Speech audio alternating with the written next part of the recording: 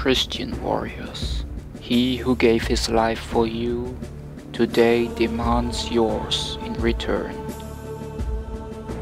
These are combats worthy of you, combats in which it is glorious to conquer and advantageous to die.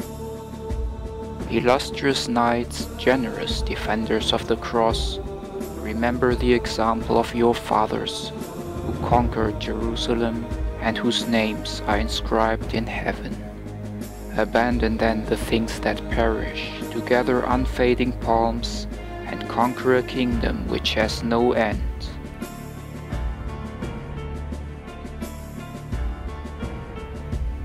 Saint Bernard